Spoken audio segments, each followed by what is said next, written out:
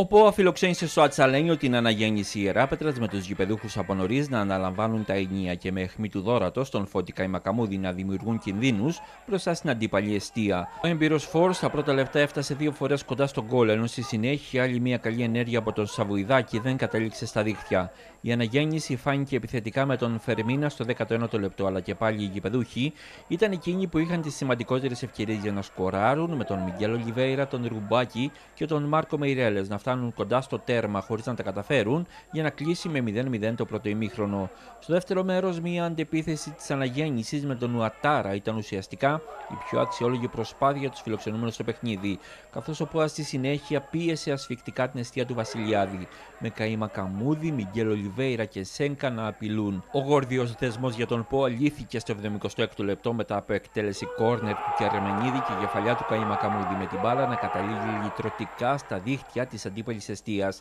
ενώ δεν άργησε να έρθει και το δεύτερο γκολ με το οποίο ο Πόα κλείδωσε το τρίποντο.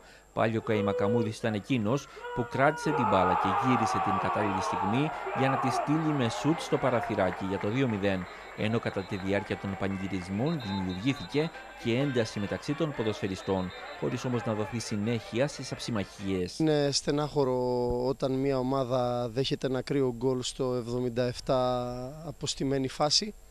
Μέχρι εκείνη τη στιγμή η αναγέννηση στεκόταν αξιοπρεπέστατα μέσα στον αγωνιστικό χώρο. Μετά το πρώτο νευρικό ημίχρονο ε, μπορέσαμε και ερεμήσαμε, βρήκαμε τις σωστές επιλογές ε, και νομίζω ότι τα παιδιά κάνανε μια πολύ μεγάλη και σπουδαία νίκη. Η δουλειά μου είναι, στην ουσία η δουλειά του επιθετικού είναι να βάζει τα γκολ, οπότε σήμερα θεωρώ ότι έκανα καλά τη δουλειά μου, γιατί βοήθησε την ομάδα να πετύχει το στόχο της.